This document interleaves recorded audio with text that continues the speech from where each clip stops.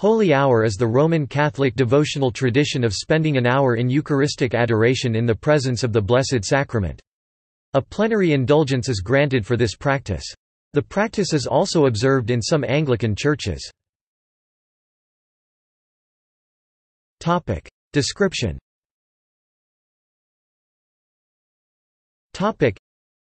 in 1673 Saint Margaret Mary Alacoque stated that she had a vision of Jesus in which she was instructed to spend an hour every Thursday night to meditate on the sufferings of Jesus in the Garden of Gethsemane.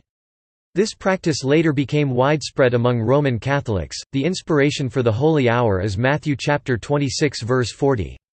In the Gospel of Matthew, during the agony in the Garden of Gethsemane the night before his crucifixion, Jesus spoke to his disciples, saying, my soul is sorrowful even to death. Remain here and keep watch with me.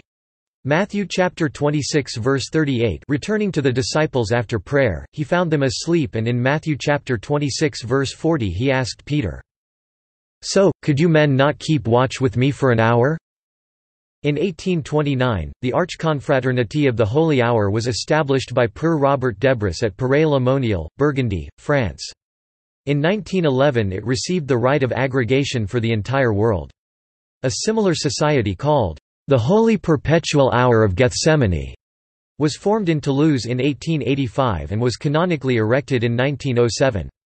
In 1909 it received indulgences from Pope Pius X. The practice of a daily holy hour has been encouraged in the Catholic tradition, for instance Mother Teresa of Calcutta had a holy hour each day and all members of her missionaries of charity followed her example.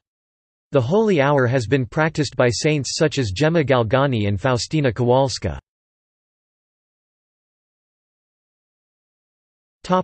See also.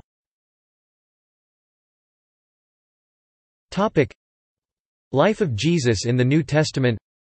Morning offering References